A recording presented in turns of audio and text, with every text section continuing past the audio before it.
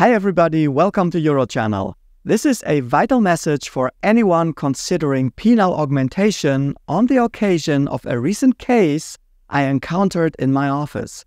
If you leave this video now, it's your choice, but don't come crying to me later and pretend I didn't warn you. My name is Stefan Buntrock. I'm a board certified urologist and sexologist, and in this video, I will provide crucial information about a condition known as paraffinoma. I think most of you know Vaseline. It has been used for ages in skincare products. Vaseline is made from petroleum and contains paraffin wax and mineral oils. Along with paraffin, it is the by far mostly used substance for penile girth augmentation in the, let's call it the backyard garage clinic because lay people without any medical training are offering this dangerous procedure in several countries around the world.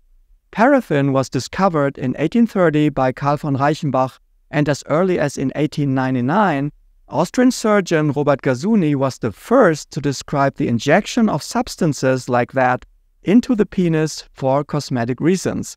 You see, the problem is that the body wants to get rid of the paraffin and starts to fight against it. When paraffin is injected into the body, it triggers a response. The body, recognizing it as an intruder, initiates an inflammatory process. This involves the mobilization of immune cells, such as cytokines and monocytes, proteins attached to the foreign material, regulating the attachment of inflammatory cells and coordinating their interactions. Macrophages converge at the site to destroy the foreign substance. Unfortunately, this process alters the tissue, causing it to become lumpy and hard, ultimately leading to penile disfigurement. This condition is referred to as lipogranuloma or paraffinoma. Because of these severe side effects, paraffin injections into the body were soon abandoned again. I mean, all of this happened over 100 years ago, but somehow the method survived, performed by lay people in dubious places under hair rising conditions.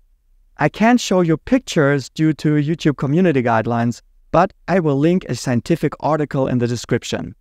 The grave issue lies in the body's attempt to eliminate the paraffin, resulting in inflammation. This inflammation can lead to chronic penile skin issues and an inflammatory response from local lymph nodes. In severe cases, it can even lead to fever, sepsis, and, tragically, death. These side effects often manifest years after the initial injection. Treating paraffinoma typically involves advanced plastic surgery. Affected skin must be removed and the penis reconstructed. The specific procedure varies depending on the individual case. Sometimes skin from donor sites, such as the inner thigh, can be used. In other cases, a skin flap from the scrotum may be necessary. It's crucial to seek specialized care in these situations. In the scientific literature, paraffinoma has not been reported very often, but it is estimated that the number of unreported cases is high because embarrassment and expensive reconstructive surgery prevent people from seeking help. Here's a map of the world highlighting the regions with reported cases. The global hotspots are Korea with nearly 32%, Bulgaria with 20%, and Hungary with 14%. Hope that was helpful, and once again, don't be stupid and inject Vaseline or paraffin into your penis. Thanks for watching. Bye bye.